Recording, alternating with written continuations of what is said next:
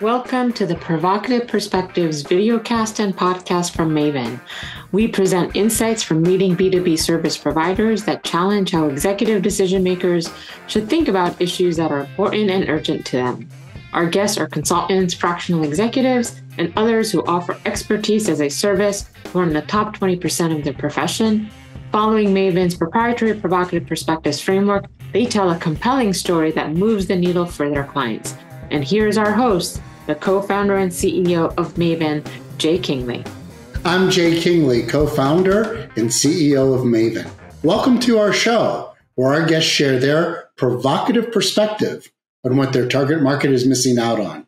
I'm happy to welcome Wendy Marx of Thriving at 50 Plus. Wendy is based in Trumbull, Connecticut, and she is going to talk to us today about the importance of branding and differentiated messaging as essential activities for small businesses to get customers and grow their businesses.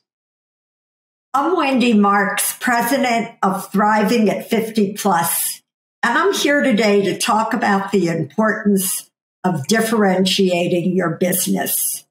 It just never fails to amaze me when I see profiles on LinkedIn that simply say vice president or business coach they're as differentiated as cardboard. There's no reason to engage or linger on a profile that says that.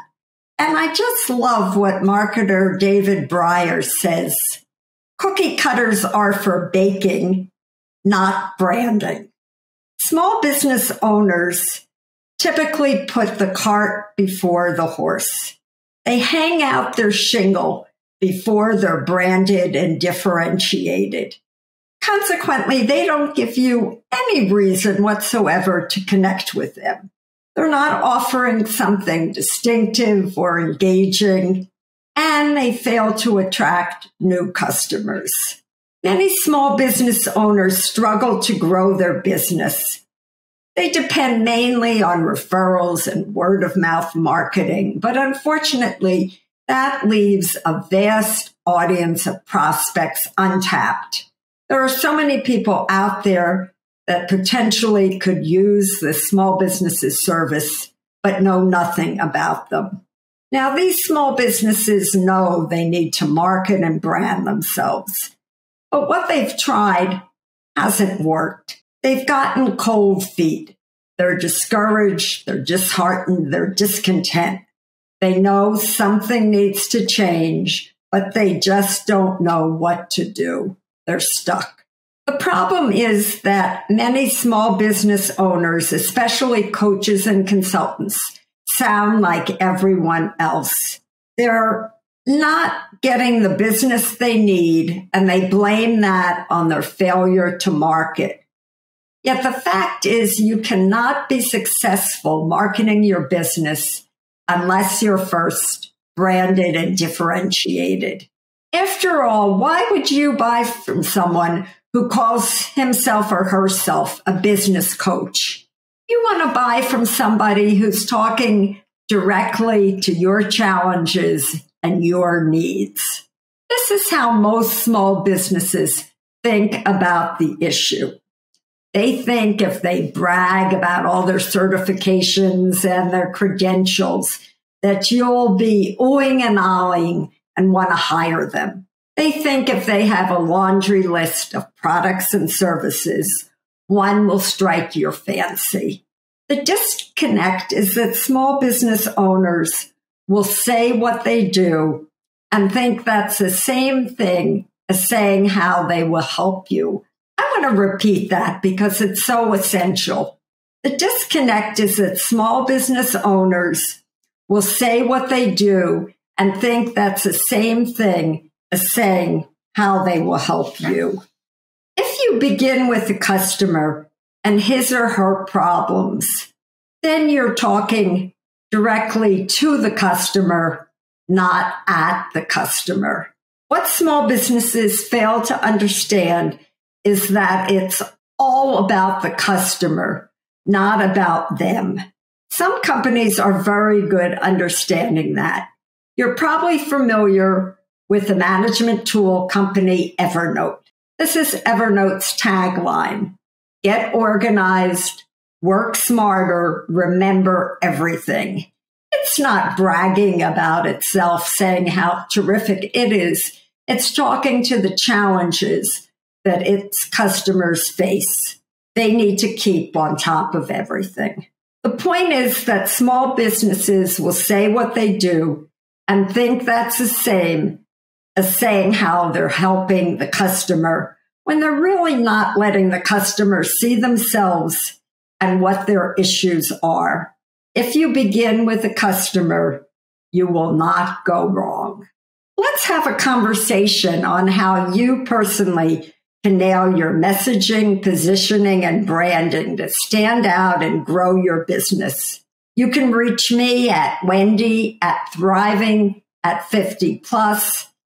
And please connect with me on LinkedIn at Wendy A. Marx. Wendy, one of my favorite sayings of all times is when you try to be everything to everybody, you're nothing to nobody. And I think that is the essence of the message that you're communicating to us. You have to stand for something. You've got to pick a lane and then stand out as a shining beacon in whatever lane you have chosen. So thank you for that. Now we're going to take a quick break. And when we come back, we're going to learn all about Wendy. Consultants and other providers of expertise as a service lose too many sleepless nights worrying about where their future clients and revenues are going to come from. You've been told over and over that if you want more clients, you have to do more marketing, more networking, more LinkedIn outreach, more email blasts, and even hiring appointment setters to do more cold calling. What if instead you could get more clients by doing less marketing? Maven works with its clients to generate all the referrals they need to not only be fully booked, but to have a pipeline that takes the worry away on where their future business is coming from.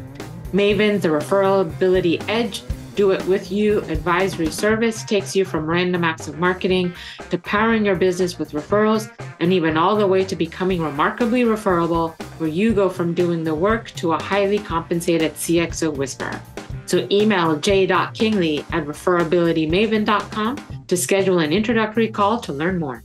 Welcome back. We're talking to Wendy Marx of Thriving at 50 Plus. Let's find out a bit more about you. Wendy, can you tell us what are the pain points that you resolve for your target market and why do they need you to get rid of the pain? Small business owners Especially coaches and consultants are frustrated that their business isn't growing.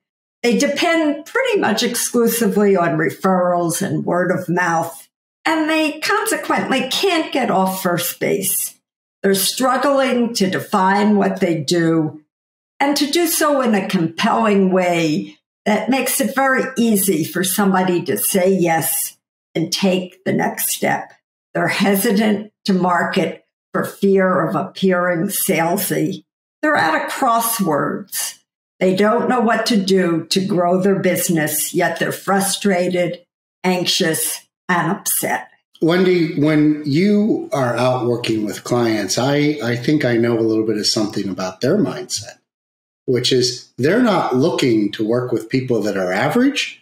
They want to work with the very best, with an expert who can get them to where they need to be. So, can you share with us what makes you great at what you do?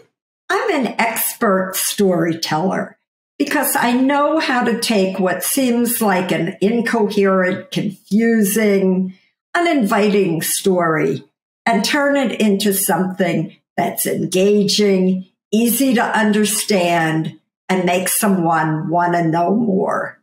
I excel in taking somebody who sounds like everyone else and give that person a true stamp of distinction. I then help them take this engaging story and turn it into marketing materials that get prospects to take that essential next step and become leads and then clients or customers. I encourage everybody to link up with uh, Wendy on LinkedIn and get the facts and the details about her career and experience that positioned her to be outstanding at what it is that she does. But Wendy, I have a slightly different question for you.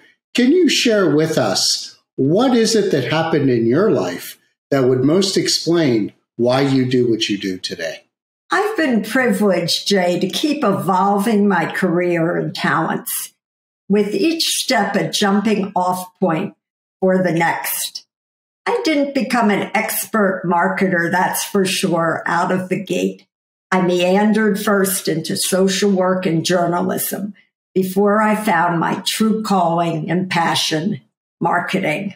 I'm grateful now that I can take all my talents and use them on behalf of small business owners.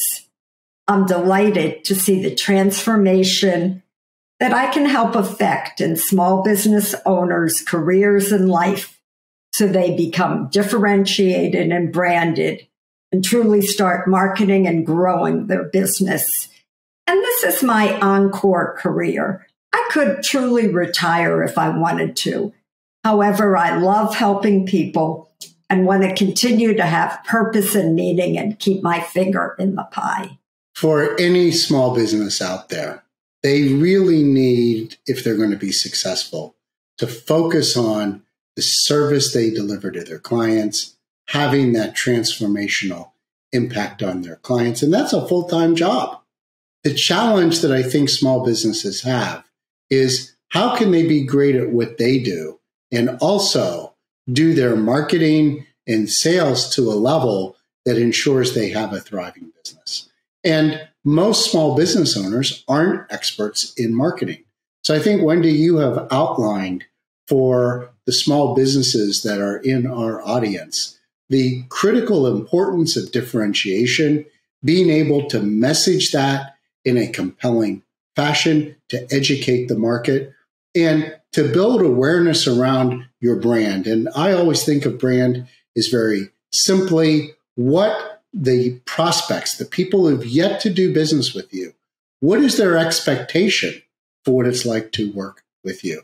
I think you've shared a lot of interesting insights on how small businesses need to think about this and most importantly, move forward. I encourage all those folks in our audience, please reach out to Wendy, continue the conversation, and create a business that is every bit as good as the service and the impact that you have on your clients. So, Wendy, I want to thank you for being such a terrific guest today.